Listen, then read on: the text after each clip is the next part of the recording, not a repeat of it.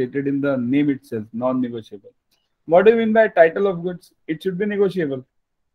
Is airway bill negotiable? No. NNSB negotiable? No. Truck receipt negotiable? No.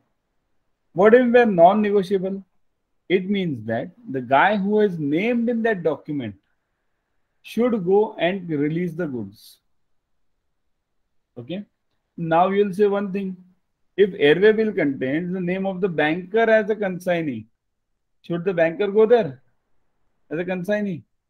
Because it's non-negotiable. It can't uh, transfer this document to this uh, applicant. So the banker has to go there. So does the banker go there? No. What does it mean of non-negotiable documents? Non-negotiable document means it can't be transferred. Title can't be transferred, but I can appoint somebody as my agent. Agent is allowed.